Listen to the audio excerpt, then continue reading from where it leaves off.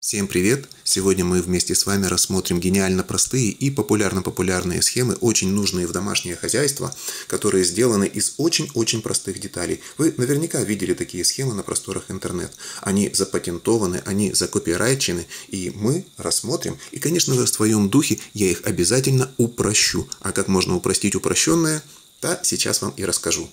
Заставочки с вот такими выгнутыми, загнутыми проволочками, тиристорами, транзисторами, либо полевыми семисторами вы наверняка встречали. Там есть припаянные пружинки, светодиодики, диодики, ну и еще масса чего-нибудь такого красивого и яркого, бросающегося в глаза.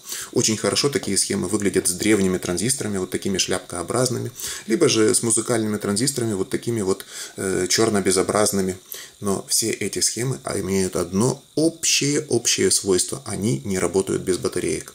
Эти схемы обязательно включают в себя либо аккумулятор, либо крону, либо хотя бы маленькую батареечку. Правда, есть конструкторы, которые смогли обойтись без батареек и немножечко-немножечко использовали заряженный конденсатор. Да, это гениальное решение, но я пошел еще дальше. Итак, что из себя представляют подобные схемы? Подобные схемы, которые валяются у меня на столе, представляют не что иное, как индикатор скрытой проводки или же электромагнитных наводок и полей. Из чего они состоят? Из антенны, какого-нибудь ключа высокочувствительного и всякого обвеса, который должен отвлекать глаза от главного действия. Ну а схематично это можно нарисовать так. Допустим, у нас есть такой MOSFET или полевой транзистор, который можно подключить к батарейке и, конечно же, через светодиод. Или наоборот, светодиод подключить к батарейке через вот такой вот полевой транзистор. Осталось только что очень аккуратно на крупном-крупном экране пассатижами, либо отверткой согнуть вот такую красивую-красивую спираль и подсоединить к затвору. Тогда наводки, водки, ну, короче, электромагнитные поля, наведенные вот на эту спиральку, будут воздействовать на затвор, и этот транзистор будет открываться. Конечно же, светодиод будет светиться. Гениальная, простая, шикарная схема. Интересно, почему ее до сих пор никто не сделал на тиристоре? Неужели тиристор столь загадочная и странная штука, что она не подвластна хорошо загорелым пальцем и паяльником с пассатижами? На тиристорах этого никто не делал. Наверное, это буду я, но мы отвлеклись. Пружинки и вот эти вот антенки, конечно, хорошо припаиваются не только к затворам тиристоров, к затворам полевых транзисторов, а еще и к базам. Наверное, эти схемы можно разделить на два типа – Z и B – Z – это затворные схемы, B – это базовые схемы. Пожалуйста, аббревиатуру не путайте.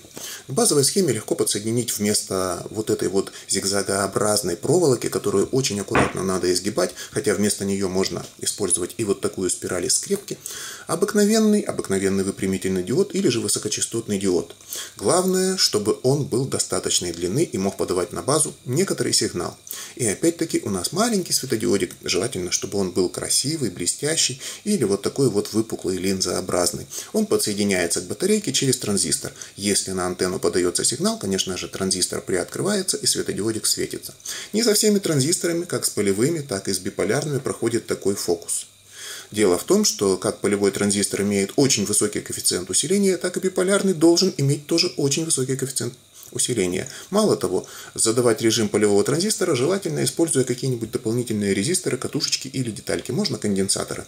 Поэтому здесь может понадобиться смещение. А можно и без него. В принципе, это будет работать и так, и так. Ну а теперь, ну а теперь чуть более интересные вещи и чуть более интересные эксперименты. Можно ли на полевых транзисторах, используя те же светодиоды, ну или такие же светодиоды, и обыкновенные диоды, и антенны, и катушки, а может быть и даже без них, сделать схему, которая будет реагировать на проводку, водку, э, таким же образом, то есть чтобы светодиодик светился? Да, конечно, можно. Мало того, уверяю вас, можно обойтись и без батарейки. Убрав лишние детали, мы можем соорудить вот такую конструкцию. Да, на микросхемах, а это же модно. Это программируемая микросхема, которая имеет непосредственное отношение к полевым транзисторам. Там их два, да. Может управлять, э, может управлять множеством светодиодов, хоть восьмью, хоть десятью, а может даже и одним. Но преимущество этой схемы в том, что к этой схеме я не буду подключать ни конденсаторов, ни крон, ни даже маленьких пальчиковых батареек, от которых я так люблю запускать всевозможные устройства, которые для этого не предназначены. Я обещаю вам, что вот такая схема будет реализована без питания и будет делать все то же самое. Она будет зажигать светодиодик, том случае, если вот эта антенна, которой тут в этой схеме тоже нет, я упростил схему, будет чувствовать электромагнитные наводки. Давайте паяльник в студию, и мы попробуем что-нибудь увидеть. В качестве индикатора, наверное, будем использовать вот этот красненький светодиодик, потому что это модно, это красиво. Давайте включим паяльник и посмотрим, что будет происходить, если мы будем подносить красненький светодиодик вот, вот, вот, вот, вот. Что мы видим? Мы видим, что возле паяльника светодиод светится. Чтобы увидеть разницу, я сейчас прикоснусь. Вот так вот, видите, я прикасаюсь пальчиком вот здесь, и светодиодик гаснет. Никаких батареек. Вот вы можете прекрасно видеть, что никаких батареек в этой схеме нет. Я просто беру ее вот здесь пальцем, вот здесь пальцем, да, у меня пальцы, наверное, являются батарейкой, и светодиодик начинает светиться, когда я вожу по жалу паяльника или даже рядом. Давайте покажу, что это дело происходит рядом, вот так вот. И вот смотрите, если я прикасаюсь с этой стороны пальцами, светодиод гаснет, его хорошо видно на черном фоне ручки. А без пальца он горит. То есть мы чувствуем сетевую наводку. Если же я сейчас отключу паяльник от розетки, светодиод погас. То есть, как бы мы тут уже вот не контачили. То есть, это действует не только вот на этом контакте, хоть тут и есть изоляция.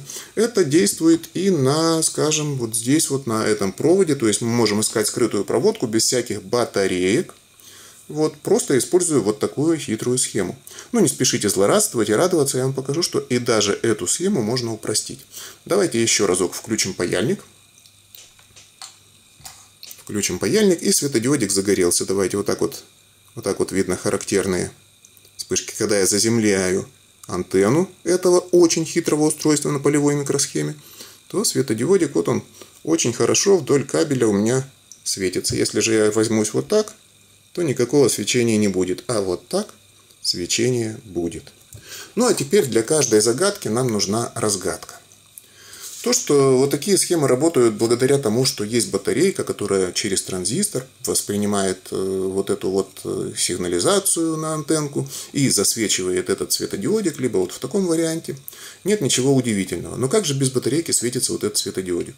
Ну, все дело в том, что вот вся эта хитромудрая конструкция может быть урезана ровно, ровно на три элемента. Это мы уберем полевой транзистор и микросхему, мы уберем вот эти вот светодиодики и оставим оставим, наверное, проволочку вот такой длины.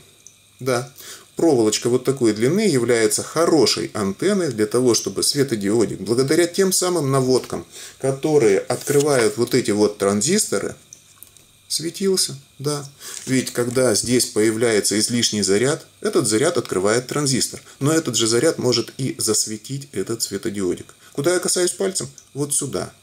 Я являюсь большой емкостью, сам по себе землей, и тогда, если я держу вот здесь вот светодиодик пальцем, вся вот эта конструкция начинает являться обыкновенной антенной. Ну, как она и была антенной. Только через этот транзистор проходит сигнал, который способен не только его открыть, а еще и засветить маленький красный светодиодик, что вы только что и видели. Да, это некоторое подобие индикаторной отвертки. Да, я ничего великого не изобрел. И да, вы ведь очень часто видели подобные схемы, которые набирают огромное количество просмотров и лайков, чему я, ну конечно же, завидую, и поэтому показываю вам, как я могу сделать еще проще. Быть может, хотя бы пару лайков заработаю. А на этом все, ребята, пока. Если вы улыбнулись, это хорошо. Ну а если вам грустно, ну что я могу поделать? Послушайте какое-нибудь веселое радио. А на этом все, ребята. Бай-бай.